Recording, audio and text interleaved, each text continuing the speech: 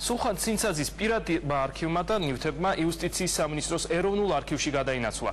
ოჯახმა არქივს კომპოზიტორის წერილები, ფოტოები, აფიშები და აგრეთვე ხელნაწერი ნამუშევრები გადასცა. მათ შორის არის მისი პირველი და უკანასკნელი დაუსრულებელი ნაწარმოებები. მომავალი წლის იანვრიდან იგეგმება ამ მასალების ლიტერატურისა და ხელოვნების განყოფილებაში დამუშავება, რის შემდეგაც დოკუმენტები ნებისმიერი მოქალაქისთვის იქნება ხელმისაწვდომი. სულხან ცინცაძეს წელს 85 წელი შეუსრულდებოდა.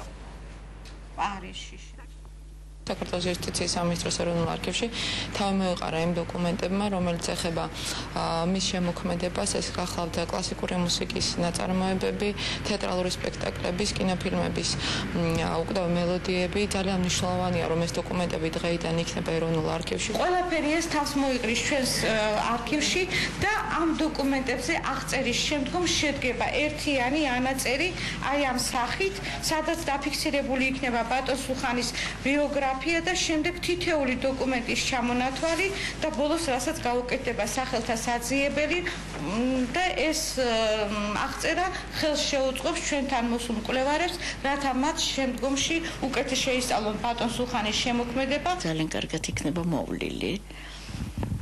ყველაფერს მოევლება ძალიან კარგად.